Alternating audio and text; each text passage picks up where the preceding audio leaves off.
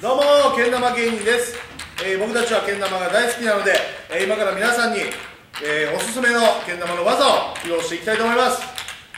さあそれでは準備はよろしいでしょうか。はい、はいきます。せーの。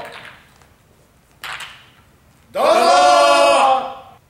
どうもアイロンヘッド辻です。僕が今から披露する技はフェンシングです。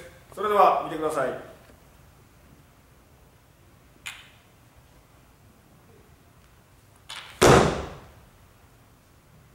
太田選手を意識してください。